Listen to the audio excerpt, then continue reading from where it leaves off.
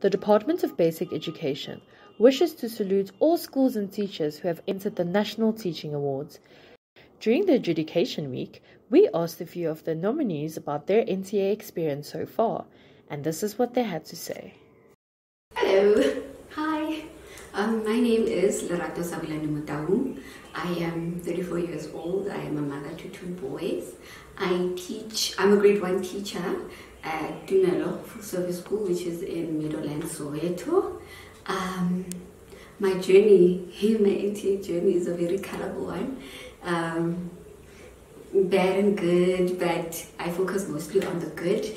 Um, it has shaped me in, in a very positive way because I don't think I would have had the confidence to just stand up in front of people and talk about or brag about how good I am as a teacher or why I'm an excellent teacher. But I am an excellent teacher, otherwise, I wouldn't have made it this far.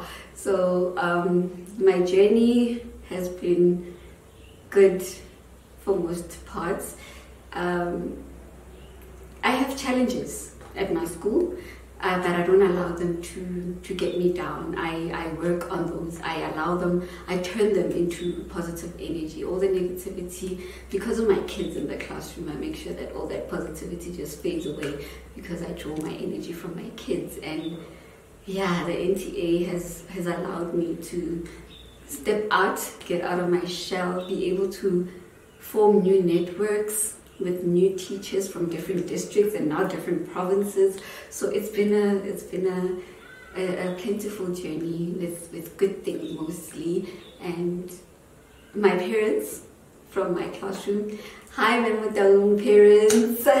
Um, here I am. I told you guys I'll be here. Um, my parents have been amazing. Um, my grade one parents, they have been very, very much supportive throughout um, the year actually, not only because of the NTAs, but because they're just happy to have um, an amazing teacher like me teaching their kids because they know that when our kids um, are at home at school, they are with Mami Motaung, and Mami Motaung has been taking care of their kids, and I love my kids, and they've seen the passion that goes into into what I do. They've seen how much I love their kids, and that is why I've been getting so much support from them and their well wishes have been uh, amazing. I, I can't I can't say I I lack anything from my classroom parents, but they have been the best. Um, Memutaung's parents, I thank you once more, and yeah. On the 20th of October, the Ministry of Basic Education will host a national ceremony where the national winners of the NTA will be announced. Join us on our social media platforms as we publicly say thank you to all outstanding teams or individual teachers who entered this year's National Teaching Awards.